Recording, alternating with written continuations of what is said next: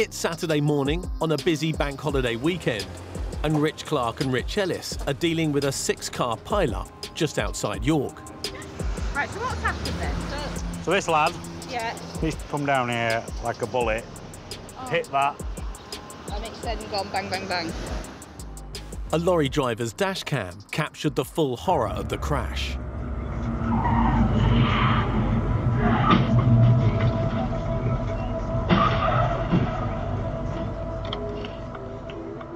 Yeah, the driver of the Kia first failed the roadside breath test. 118.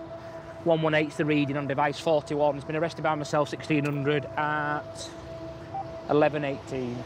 Six cars, 10 people injured, one drink driver. Is anybody hurt? Has anybody in an ambulance? Two taken to hospital on stretchers, a couple of walking wounded, black eyes, broken nose, lacerations, seatbelt injuries, whiplash, airbag burns.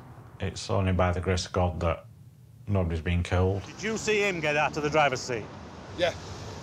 His mate got out passenger side. I know you wanted to go off, but we ain't seen him driving, see? So we need somebody to say you what driver of that car. Well, he's, he sat back down in it and took keys out of ignition, I think. he Did about nearly four times legal limit. Four times? Yeah. Really? Yeah.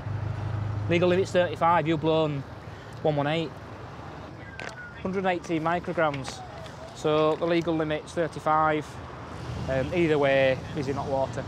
And who knows it. So drunk, involved in a multiple vehicle collision on a major road on a bank holiday weekend. So I mean, thankfully, no one seriously injured from it, which is massively fortunate.